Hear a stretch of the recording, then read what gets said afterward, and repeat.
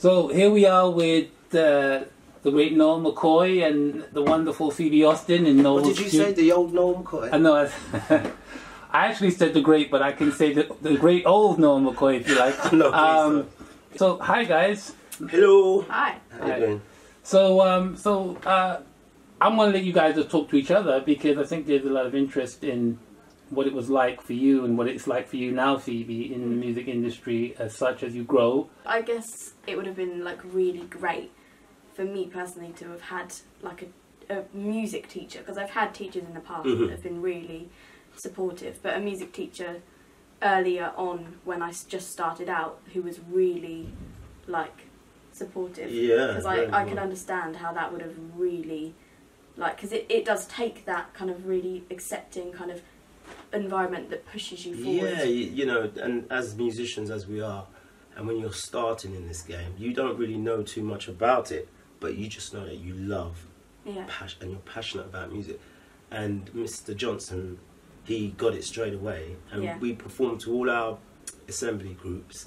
And to this day, you know, I'll get stopped by um, some of the, the the young people. I didn't, I don't remember them, and Yeah. they said, "Oh, I remember when you played it." So it stays in people's minds. Yeah. You know? we were like 13, 14. yeah Well, I did have non-music teachers um, who were supportive of what I was doing, but no, no one, I guess, no teachers that ever really 100% understood what it was that I was doing. Like I could never get, I'd never had like such a close relationship with a music teacher that I could Mm, like go f- to them for like advice on mm. or help, or if they then was never someone that helped like kind of push me upwards in what I was doing with music. Mm. And what I what I see with Phoebe is that your music, your stuff is more come from oppression, not like you've been beat down or whatever, but you Yeah. you've been encouraged at home, obviously, but in your environment you weren't encouraged. Mm. You know, like at school or by your peers, even. You know, so Yeah. you just kind of you had to fight on your own, Mhm. right? Which is what a lot of us had to do, right? No, we had to fight to to do it because we weren't encouraged. We were like, you know, go and be a plumber, go and be a, a butcher or whatever, you know, and which is great job. Well, But no, if- you're not knocking it, but that's Yeah. not what you want. Yeah, but if you can do other things, you know, you want to do it. Um, re- real musicians, real talent, real Yeah. art comes from angst, comes from from drum. You know, it, it, it really does come from the struggle, whatever that struggle is that you Yeah. have. You know, definitely. yeah, the artists who really do want to, um, who, who have something to say, like yourself, one so young, but already you know your worth, you know what you want to get across. So it's so important. It's part of the journey, Yeah. which will make you um, stronger and wiser. One one of the things I want to um, uh, bring up is the fact that um, Noel, you you grew up in an era where we had reggae, right? Yep. That was our main thing, right? And you went on to be with the, the James Taylor Quartet. That was like fusion jazz. acid jazz. acid yeah, jazz. fusion. You you've done pop. You've done written stuff for Cliff Richard. You've done funk. You've done all these different things, Mhm. right? And you you know, um, how do you feel about like ex- expanding out of that you know that reggae uh, musical kind of uh, background? How how did you find people, your peers, accepted that? And in relation to Phoebe as well, Phoebe, how do you feel you would want to expand? You know, uh, from your musical base as you go along. What other styles and vibes, you know, because you know, would you like to ex- explore? Starting with you. With you. Um, well, you know, as I said, you know, I've been I've been always open in music. You know, I did a lot of theatre as well, and that opened my mind to a lot of things. And I wrote songs for theatre and stuff like that, just through being an actor, seeing how the whole thing moves. Um, nothing. I always nothing's a cha- I love a challenge, so I've I've done that, and I've worked, and I know a lot of great musicians um, who's helped me along the way. Donovan, people like him who was classed as the folk in that folk Yeah. revolution, Uh, and I worked with his daughter, and and I, I've always loved his music as a kid. To then work with him, then to then work with loads of people, Stevie Wonder. Now, what I'm getting at is that um, I learned that music doesn't have any sort of like limitations, or you know, they say, are you into this genre? Are you into this? You know, there's so many different tags for house music, for instance. There are so many for. So I've always learned that it doesn't matter what the genre is, as long as I feel it, and if I feel it, it can be classical. You know, I've done operas. I understand if it if it resonates inside, if it feels good, then I can relate, and then if I can help, if I can create, then so be it. So it doesn't have any limitations for me in terms of what my peers might think about me writing for Cliff Richard. Yeah, they take the pee a bit, but I'm the one who's collecting the royalties. I'm the one who's got the platinum disc, you know. But it's a laugh with Cliff Richard because they always that name for some reason they don't seem as hip or cool. Very cool. I think he's very cool. He's I grew a- up he with was summer the, uh, holidays. what, and all the that, English. Elvis Presley, Yeah, you know, man, better, I'm better looking. Yeah, Um, exactly. Um, and uh, I used to watch all the movies with Cliff or whatever. I Yeah, mean, man. summer holiday. And, I, I think Um, I think the problem with the um, this is just my opinion.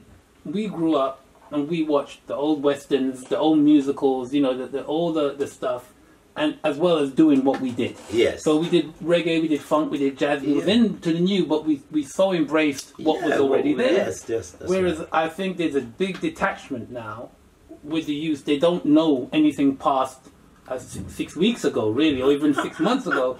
I mean, uh, am I correct about that? Do you, do you find that, or am I just going off on one as an oldie? Well, I mean, I would say that some, definitely some people my age are very kind of oblivious to some of the older Yeah. genres, like, because obviously genres change a lot as time goes on. So, like, if no one in my like classes would have listened to or watched any of really old films, but I, I like listening to. I mean, it wouldn't. It's not really that old, but like music that my nan listens to, for instance. So I wouldn't say there's necessarily a barrier, but I say it's it is more common not to. Do you think that uh, listening to that older music, getting those influences from the past, help you with what you're doing now? Yeah, hundred percent. I grew up m- more listening to um, actually musical theatre, which is one of my like great passions. I really, really love musical theatre. But then I also would quite like to write slightly more country. Like there's a lot. I guess pop, country, and musical theatre are the three genres that I've had most to take from um, in songwriting and just Mm. yeah, just in general. um, going back to what you said about the reggae influence in Jamaica, where my parents come from, the country and western music is very much uh, the mainstay of music. So there's stories, as you know. So Jamaicans love good stories, and um, fusing the Jamaican, uh, let's say patois, as it were, it fuses, it blends with anything. I mean, I, I, I look at Jamaican music and the and the artists from there.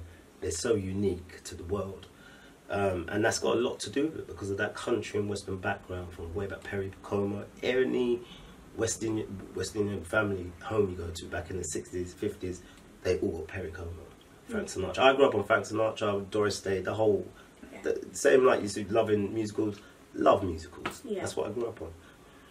So Phoebe, if there's any question you want to ask Noel right now, I for the- guess um, one question would be like how you think your songwriting um, has changed one while you've like discovered new like genres and Mhm. been working with different people. Do you think your songwriting ch- style has changed a lot?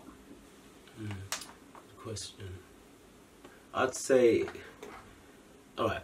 When I my first album I put out with my brothers and sisters, we called McKoy.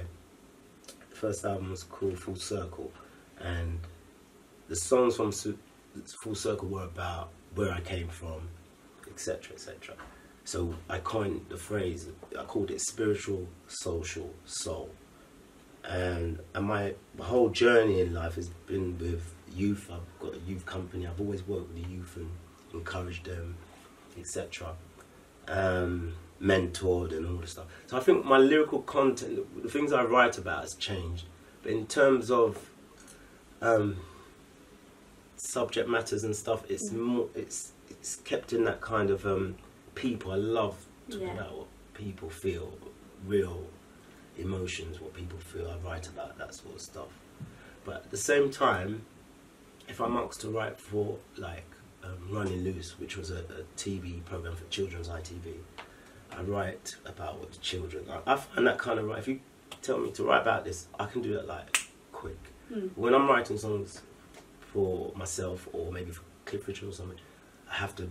It takes me longer, and it Yeah. it's it's the same amount. Of, you know, it's two and a half, three minutes. You know, it's Yeah. really two minutes because you repeat the choruses. It's really Yeah. a minute and a half. A lot of songs.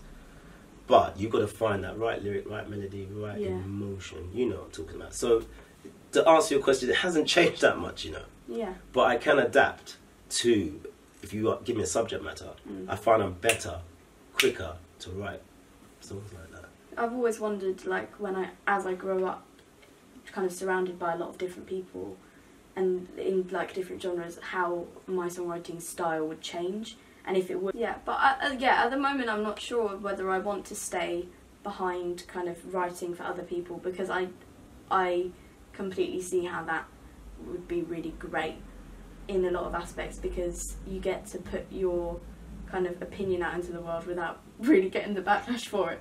But then also, I always really loved the idea of being able to do the touring and the Yeah. the being able to connect with people. Yeah. Yeah.